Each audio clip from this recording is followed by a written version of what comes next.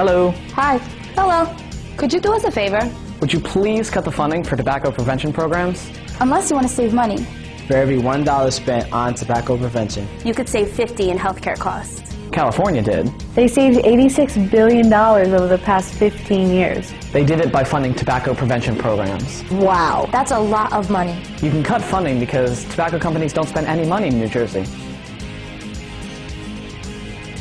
Oh, actually, tobacco companies spend $231 million a year in advertising in New Jersey. You can cut the money for prevention because it isn't doing much good. Except, once New Jersey started spending money on tobacco prevention, Teen smoking rates dropped. Dropped. They plummeted. Plummeted.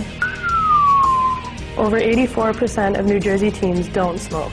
Maybe we shouldn't cut our funding.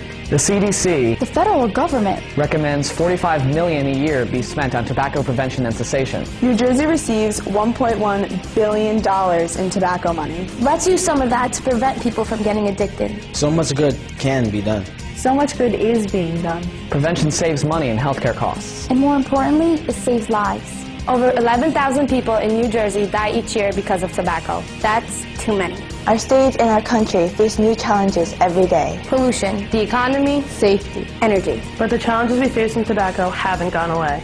That's why prevention is so important. Remember what we're facing. Remember the youth of New Jersey. Remember us. Remember my cousin. My niece, my brother. Because big tobacco companies sure haven't forgotten about us. With your support, Tobacco prevention programs can keep doing great things for New Jersey. Thanks. Thanks. Thank you. Thanks for listening to us. Thank you. Yeah, maybe cutting funding wasn't my best idea. I can't do it.